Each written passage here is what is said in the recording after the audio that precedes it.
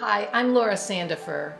Do you have a sinking feeling our current model of school does not equip young people for the challenges they will face in the real world? Have you longed for more powerful ways for young people to learn? I know those feelings well. My book, Courage to Grow, is the intimate origin story of Acton Academy, the small school my husband and I started for our own young children. We started in Austin, Texas in a little schoolhouse with just seven students. And that spark of an idea has spread like a wildfire. There are now more than 50 campuses around the world with 6,000 applications from other parents who want to start their own Acton Academy. I share my story with you so that you too can feel wildly optimistic about the future.